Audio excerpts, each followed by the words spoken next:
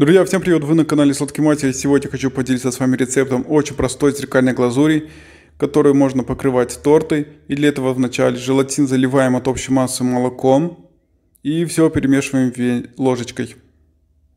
Молоко должно быть не горячее.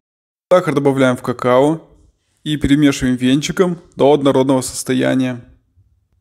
Ну вот, как только все перемешали, вливаем молоко в сухую смесь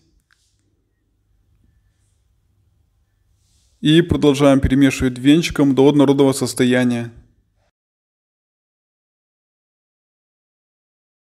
Вот смесь готова, затем ставим ковшик на огонь, выливаем глазурь. Сначала ставим огонь на высокий, потом убавляем до среднего, как только пошел пар.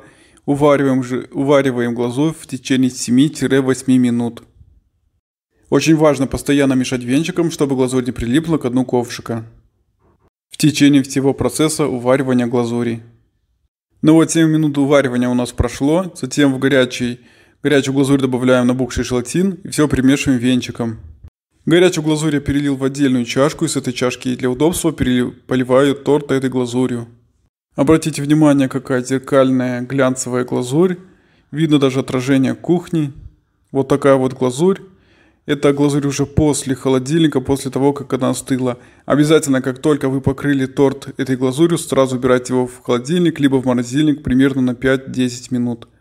Вот видите, какая зеркальная красивая глазурь. Видно полностью отражение кухни, видно и меня.